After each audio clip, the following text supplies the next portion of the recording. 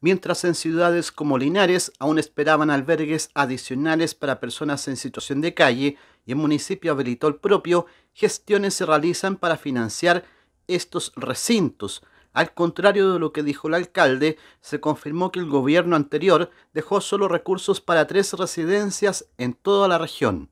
Los albergues que hoy el gobierno está proyectando para fines de junio, primero son tardíos, en segundo lugar, son insuficientes porque en Linares tenemos más de 250 personas en situación de calle y el gobierno solamente quiere garantizar para 60 personas. Acá había una destinación de tres albergues, según el presupuesto que se había destinado y se había dejado por la administración Piñera, que era un albergue para Talca, un albergue para Curicó y uno para Linares.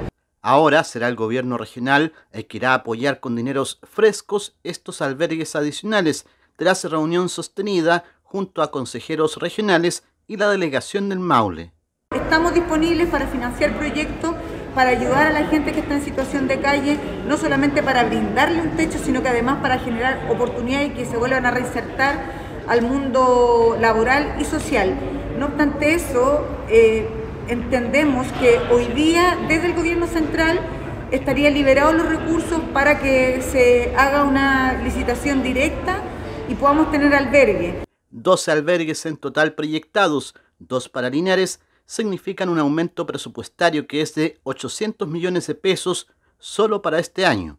Nosotros estamos estableciendo y trabajando para la instauración de 12 albergues en total eh, y además un aumento presupuestario que es de 800 millones de pesos para este año. Es por eso que hoy día, además, nuestro Ceremi de Desarrollo Social, Manuel Yáñez, está trabajando ya para la adecuación de los procesos que nos permita ejecutar ese presupuesto de 800 millones a partir de esta semana.